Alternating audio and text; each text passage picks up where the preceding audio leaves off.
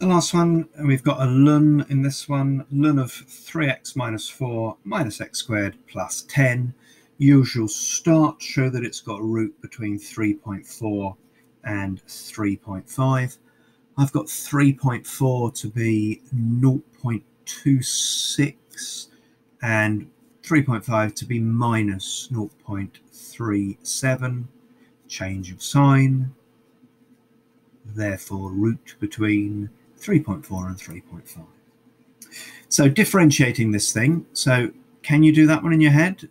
Probably you can by now, but I'll, I'll show you just in case that we've got u equals this. We're trying to differentiate the ln of u. This differentiates to 3. This differentiates to 1 over u. Times them together.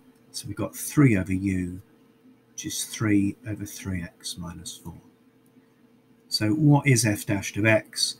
It's that bit there, 3 over 3x minus 4, and then just take away 2x.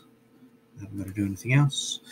Um, and part C says taking 3.4 as your first value. So x0 is 3.4. So x1 is 3.4 minus f of 3.4 divided by f dashed of 3.4.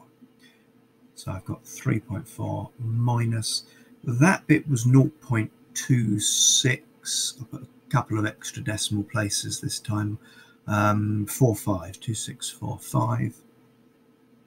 And this bit here, tap that in, I'm getting 6.3161. So tapping all of that in, I've got 3.442 to three decimal places. Nice exercise, that, wasn't it?